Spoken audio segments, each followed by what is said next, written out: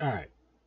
Hello and welcome everybody, this is Snap-on. I'm going to show you guys exactly what happens with my Elgato HD60S.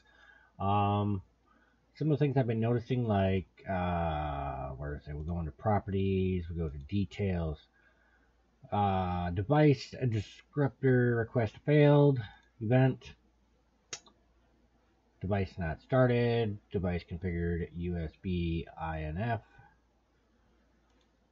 um, you can update the drivers.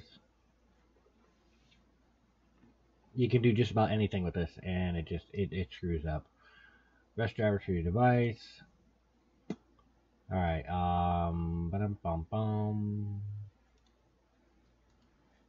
Hopefully, it doesn't screw up my screen here. Yeah. Disable. Enable. And then a bam. Everything's working fine. Give it about, it's usually about 10 seconds and then it'll freaking screw up again. Sometimes it does, sometimes it doesn't, but we'll see. Alright.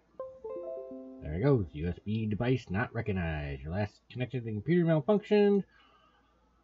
Uh, try reconnecting the device. If Windows still does not recognize it, your device may not be working properly. Now, this is not the first Elgato HD60S I've gotten. I've had the same issue before. Um, other things that I've tried is like, um, uh, hang on one second. Let me disable it. Let's go down. So other stuff I tried doing, um, going into properties here, go to resources. No, wrong one. Uh, USB root hub, go to properties, go to power management. I went through and made sure everything everything did not turn off. Okay. So, I mean, the other thing I did was, I don't know if I did this, well, it's not going to show up until I just uh, enable it again. Um, Alright, let's enable. And scan for hardware changes. Still not there. Still not there. So now, I, now it won't even pop up in here. Which is not cool. So it just keeps doing that. I don't understand why it keeps doing it.